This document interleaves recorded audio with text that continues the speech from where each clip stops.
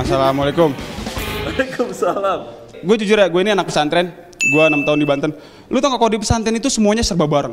Makan bareng, ke masjid bareng, sampai mandi aja bareng. Gue pernah mandi berdua, bertiga, sampai berlima gue pernah mandi. Itu beneran, telanjang. Jadi ambil mandi ambil. Ih, iya iya. Padahal prinsipnya di dalam Islam, janganlah engkau berdua-duaan di dalam suatu tempat. Nih saya pihak ketiga adalah setan. Itu beneran. Kemarin temen gue mandi berdua kan, terus gue pengen mandi, yaudah gue dobrak, wah setan luin. Ya. Terus gua mandi bertiga kan. Pas gua mandi bertiga itu setannya beneran keluar. Tiba-tiba ada yang ngetok pintu. Tok tok tok. Gua liat, wah kuntilanak. Terus dia ngomong, Jawin, ngapa lu? Keluar dong. Yang ketiga kan harusnya gua. Sorry bu gua jelak. Terus lagi, lu tau gak kok, gua gua sebagai anak pesantren ya, gua suka sama cewek-cewek yang alim. Beneran gue suka sama cewek yang alim. Tapi setelah gue cari-cari nggak ada cewek alim itu bohong. Lihat aja, setiap tahun pas bulan puasa, cewek nggak ada yang puasa full satu bulan. Ya kan? Pas gue tanya, lu puasa nggak? Kagak. Kenapa emang? Gue lagi datang bulan. Lah apa hubungannya? Puasa itu kan dari terbitnya fajar hingga tenggelamnya matahari. Pas datang bulan mah gue juga udah buka. ya kan? Terima kasih. Oke, Zawin nih. Itu yang kejadian di pesantren, kamu mandi rame-rame sama laki-laki lain itu benar terjadi? Beneran. Boleh tahu alamatnya di mana orang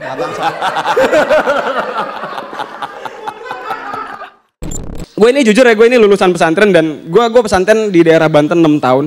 Dan gue itu dulu di pesantren gue itu ada eskul futsal dan gue ikut futsal. Dan gue waktu main futsal itu yang jadi komentatornya tuh ustadz gue. Uh, itu ustadz gue tuh kalau komentator itu jadi adem gitu gara-gara gitu. Ih, adem. Ya kita lihat Zawin membawa bola ya di bawah di bawah di bawah subhanallah dari bola yang sangat cantik.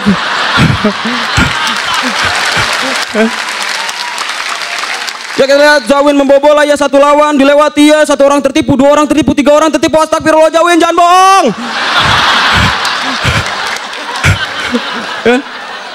Ya masih Zawin, masih Zawin, masih Zawin tendang dan gol. Zawin tidak melakukan selebrasi, dia tidak mau dipuji takut teriak.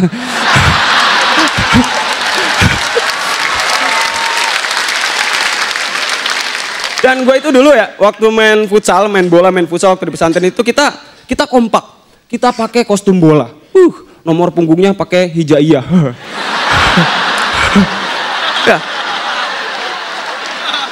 Dan karena kita nggak mau dipuji, karena kita nggak mau dipuji, jadi nama punggungnya semuanya sama. Jadi kalau ada yang nanya, eh kemarin top skornya siapa? Hamba Allah.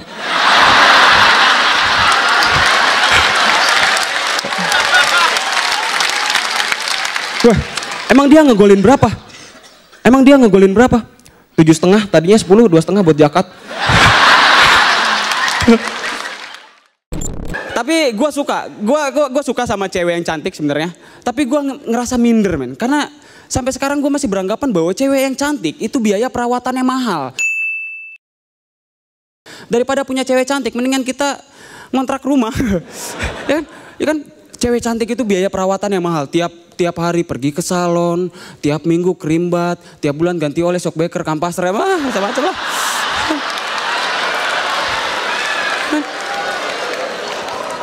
gitu.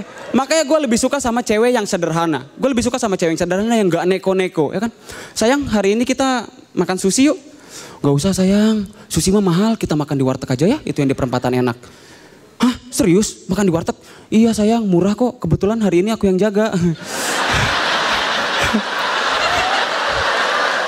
sayang, serius kamu yang jaga? Iya serius aku yang jaga. Karo apa mas eh?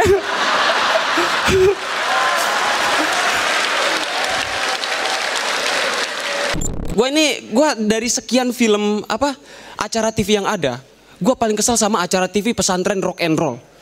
Itu maksudnya apaan coba? Ada satu anak bandel, tatoan, ditindik, masuk pesantren dan dalam waktu hanya tiga bulan dia bisa nikahin anaknya Pak Kiai.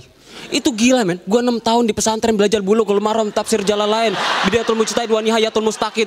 Boro-boro gue nikahin anaknya Pak Kiai. Anaknya udah punya suami. Ya. Lagian Lagian gini men, lagian pesantren pesantren rock and roll tuh maksudnya apaan sih? Katanya pesantren yang gaul. Emang pesantren yang gaul kayak gimana sih? Hah, kayak gimana? Baju kokonya beli di distro. Pakai sarung, sarungnya begi. Kalau anak SM kalau anak SMP yang gaul pakai topi, topinya dikebelakangin. Kalau anak santri yang gaul gimana? Pakai peci, pecinya dikebelakangin. Ya sama aja. Ya. Dan gue itu pesantren dulu di Banten. Itu letaknya tuh di antara dua gunung dan dua sungai. Ini beneran beneran serius. Itu pesantren kita tuh horor men. Makanya kita nggak pernah, makanya kita kalau nonton film horor itu biasa aja gitu. Ya setiap hari kita nonton horornya live gitu kan. Orang kalau nonton film horor, pocongnya keluar, ah. Kita kalau nonton film horor, pocongnya keluar, ah, nih pocong gue pernah lihat nih belakang kamar mandi nih. Ah, sombong lo. Dan ya, tapi ya selain film action, gue juga suka film kartun. Dan menurut gue kartun yang paling aneh itu adalah Doraemon. Lihat dah, waktu gua TK, gua masih TK, Nobita udah SD. Pas gua SD, Nobita masih SD. Sekarang gua kuliah, Nobita masih SD. Ini bocah kapan naik kelasnya ya? Di sini ada yang pernah lihat ibunya Nobita ngambil rapot? Apa pernah kan? Apa pernah kan? Bicara masalah lingkungan, bicara masalah Indonesia. Tanah air beta. Airnya bayar, tanahnya nyewa. Katanya fakir miskin dan anak-anak terlantar dilindungi oleh negara, tapi nyatanya mereka di kolong jembatan meminta-minta.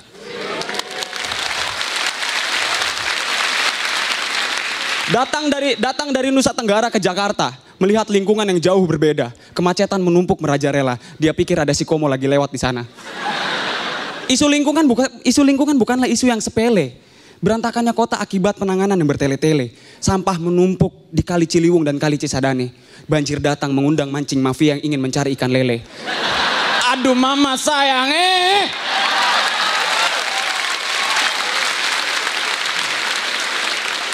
Ya elah dur, dur gitu doang mah bisa kali gua.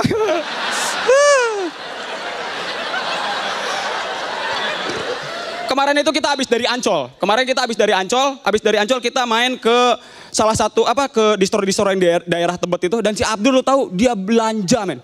Dia belanja di distro.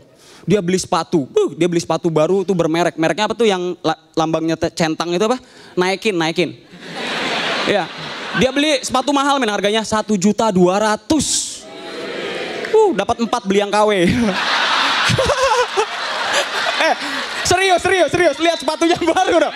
Sepatunya baru, lihat. Sepatunya baru. Beneran. Ya. Itu si Abdur abis pakai sepatu baru, itu dia jalannya pelan banget men. Pelan gitu, pelan. Soalnya kegesek dikit, simbol centangnya copot. KW.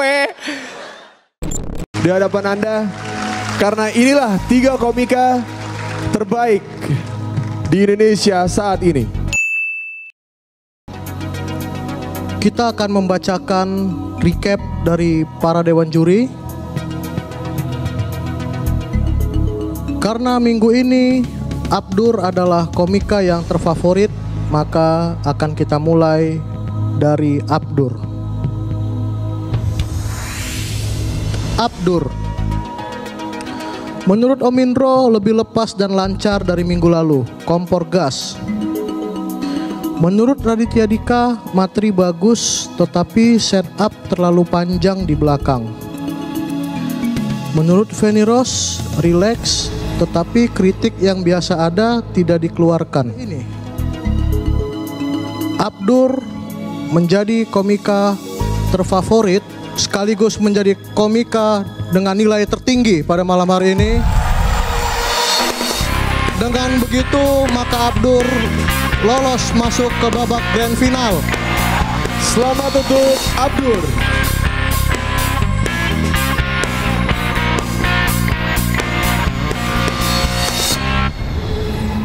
Tersisa dua komik di hadapan Anda.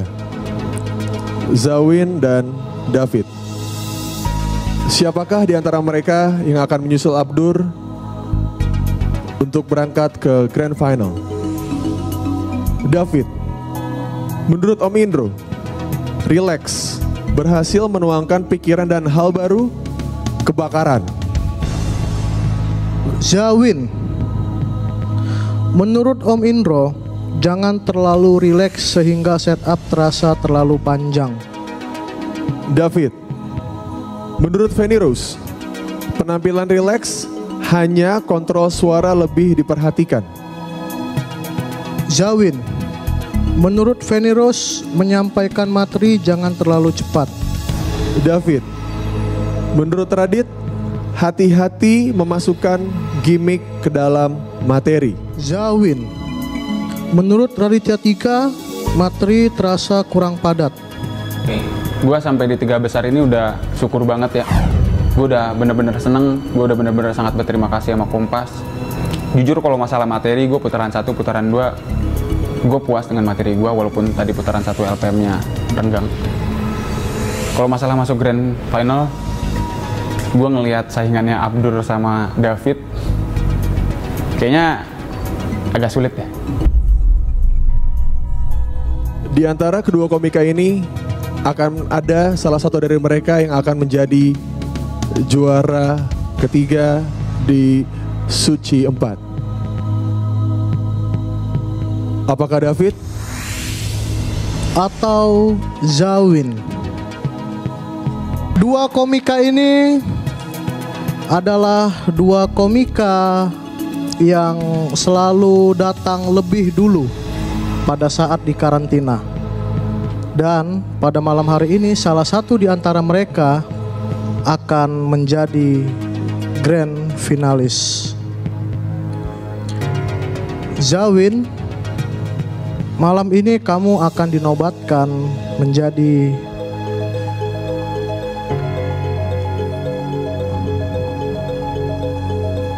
menjadi juara tiga dan David lulus ke grand final.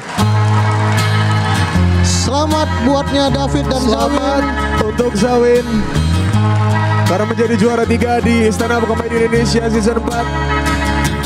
Balai Kartini berdiri Mohon dari berdiri kursi dari kursi Anda Anda. dan berikan penghormatan kepada juara tiga yaitu adalah Zawin yang akhirnya membuahkan hasil dari perjalanannya di Suci 4. Dan mari kita lihat perjalanan Zawin berikut ini. Hal yang paling gue takutkan tidak terjadi. Gue takut kalau gue close mic, gak ada yang meluk gue. Alhamdulillah mereka berdua meluk gue padahal Abdur bilangnya kalau gue close mic dia mau sujud syukur. Iya beneran dia ngomong kayak gitu. Dulu inget banget gue di show kedua. Sedih gue sih aing. Gue gua seneng banget gue bisa di sini. Niatnya nggak sedih gue niatnya. gue inget banget di show 2 gue pernah bilang sampai sekarang masih banyak orang yang mikir lulusan pesantren hanya bisa ngaji dan ceramah dan sekarang gue ada di sini.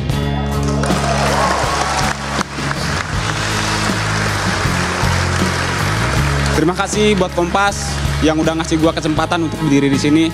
Terima kasih buat Kompas udah nerima gue jadi salah satu keluarga suci. Terima kasih buat abang gua yang udah datang walaupun gue bilang jangan datang, sahabat grogi. Ngumpet-ngumpet tapi tetap ketahuan. Terima kasih juga buat Zawin Rangers. Nggak nyangka gue sampai bisa punya fanbase. Terima kasih dukungan moralnya. Umumnya terima kasih buat teman-teman yang udah datang ke sini nontonin nonton setia nonton kita. Tanpa kalian kita hanya ditonton oleh bangku kosong. Terima kasih yang paling besar gue ucapin buat teman-teman kelas gue yang datang setiap minggu dari pre-show. Terima kasih besar, terima kasih yang sangat besar buat kalian yang udah ngedukung gue ikut stand up dari awal awal, pertama kali gue ikut stand up ngedengerin gue setia setia ngedengerin gue walaupun gue nggak lucu gue cuma bisa bilang terima kasih terima kasih terima kasih terima kasih